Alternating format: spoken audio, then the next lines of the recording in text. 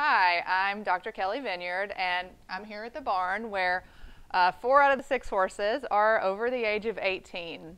Now, senior horses are really special, and that's why we have a responsibility to keep them as healthy and as happy for as long as possible. Almost three decades ago, Purina introduced the senior horse feed category with Equine Senior, and that was a real game changer for horses that can no longer chew hay. Fast forward to today, and Purina continues to innovate with our senior feeds. That's why we introduced the Active Age technology and include that in both the senior and senior active formulations. Now, Active Age is a unique uh, prebiotic additive that has been proven in scientific research to support immune function, to support appropriate metabolic response, and mobility in senior horses.